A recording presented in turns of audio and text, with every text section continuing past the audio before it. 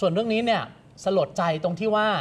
คุณตาคุณยายเขาอยู่บ้านกันสองคนใช่ไหมครับ คุณตาเนี่ยแกเสียไป 4 วันแล้ว และตัวคุณยายเป็นอัลไซเมอร์ ไม่รู้ครับ ตอนที่เจ้าหน้าที่ไปเนี่ยเหมือนนั่งอ่านหนังสือให้ศพฟังอะอยู่ข้างศพ แล้วก็เลยถามว่าคุณยายยังไงอะไร คุณยายไม่รู้เรื่องจริงนะ ลองไปดูเหตุการณ์กันหน่อยครับ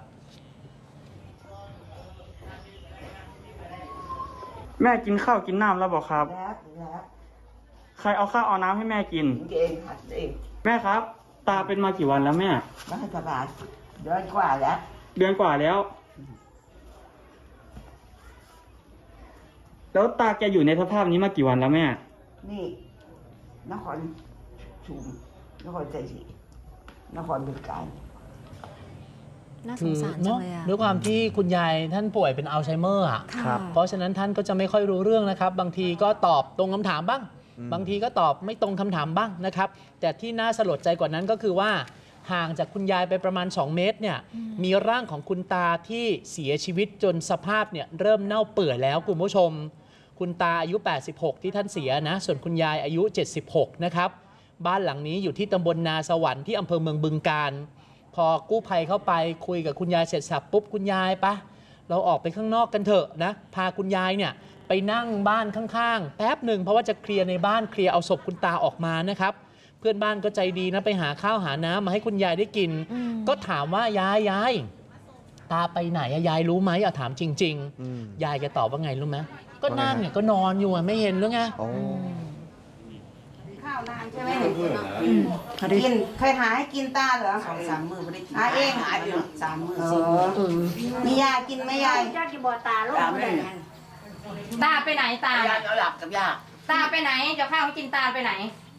ที่นอนยาละค่ะเถียงกันไม่เหี่ยงหาฝืดมันถูกแล้วมันอยู่แล้วอยู่ไหนตอนนี้ตาหันก็นอนได้เห็นล่ะโอ้นตาอนลแม่อยู่นั่นแหละงเออให้มันนอนอยู่นั่นแหละ โอ้น่าสงสารมากนะคะ ซึ่งมันก็มีข้อมูลจากเพศอ่าแพทย์เวรที่เข้าชนสูตรพลิกศพคุณตาค่ะ สรุปแล้วคุณตาแกเสียชีวิตด้วยโรคประจำตัว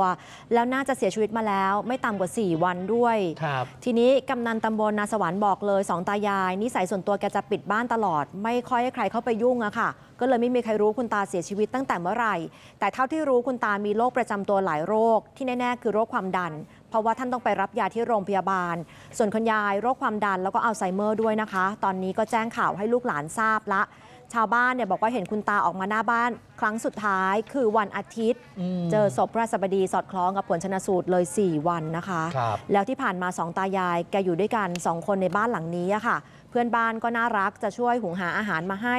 ส่วนลูกผู้ตาย 3 คนทำงานอยู่ต่างจังหวัด ร้อยเวรก็แจ้งให้ชาวบ้านบอกดูแลกันไปก่อนนะ แล้วก็ประสานลูกหลานให้มารับ ตอนนี้ลูกหลานยังมาไม่ถึง เพราะฉะนั้นก็เพื่อนบ้านนี่แหละช่วย จะไปก่อนดูแลคุณยายอืมไปพลางๆก่อนครับค่ะครับอะบ้านไหนมีผู้สูงอายุก็ฝากดูแลกันด้วยนะครับคุณผู้ชม ดูละคร ซีรีส์ซิทคอม วาไรตี้ คอนเสิร์ต และทีวีออนไลน์ได้ทางแอปวันดี